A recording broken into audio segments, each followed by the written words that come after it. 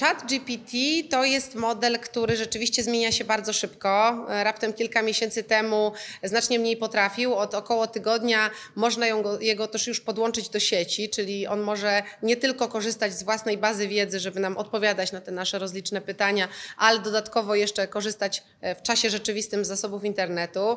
No i jeszcze ma dodatkowo takie pluginy tak zwane, czyli takie wtyczki, które pozwalają mu na przykład przeszukiwać jakąś konkretną bazę.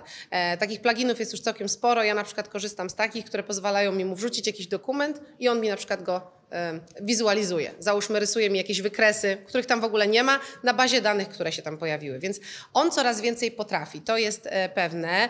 W tej chwili jesteśmy w silniku 4, natomiast z ciekawostek muszę powiedzieć, że sam Altman, twórca OpenAI, firmy, która stworzyła czata GPT, powiedział, że wersji numer 5, czyli kolejnej wersji tego modelu, która możemy się spodziewać, byłaby jeszcze większa, jeszcze bardziej potężna niż ten bieżący, nie zamierza teraz wytwarzać, że chce czekać na regulacje, ramy, dlatego że nie jest pewien, e, czy powinien. To znaczy ta komunikacja z firmy, która płynie ostatnio jest taka, że biznes, instytucje, ludzie potrzebują czasu na adaptację do tej technologii, że teraz to tempo się musi troszeczkę wypłaszczyć i że wersja numer 5 po prostu planowana nie jest.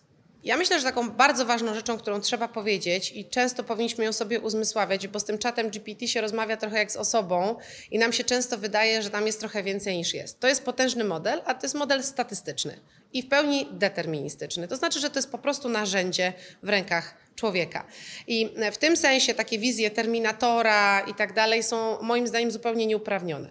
Ale z drugiej strony, e, tak jak powiedziałam wcześniej i też w czasie tego wystąpienia, e, problemem jest na przykład dezinformacja. Za pomocą takiego narzędzia jak czat można naprawdę ludzi oszukać, za pomocą innych narzędzi, z którymi można wytwarzać wideo na przykład, albo jakieś dźwięki, klonować głos, też można wprowadzić bardzo wiele osób w błąd i e, widzieliśmy nawet tego przedsmak podczas pierwszego etapu wojny w Ukrainie, gdzie deepfakeowany był prezydent Zełęński.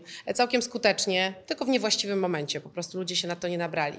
Więc ja widzę zagrożenia sztucznej inteligencji i myślę, że każdy trzeźwo myślący człowiek je widzi. Natomiast wydaje mi się, że to jest technologia, od której nie bardzo jest odwrót, więc tym bardziej trzeba się skupić na tym, żeby ona była jak najlepiej ukierunkowana, żebyśmy sobie powiedzieli, co jest dla nas w porządku, a co nie. Mieliśmy już takie technologie w przeszłości, jak na przykład klonowanie, z których zrezygnowaliśmy, bo uznaliśmy, że te skutki społeczne ostatecznie są zbyt negatywne. W tej chwili widzimy dużo zalet czata. Firmy spodziewają się dużego wzrostu produktywności. Ludzie dostali nowe narzędzia.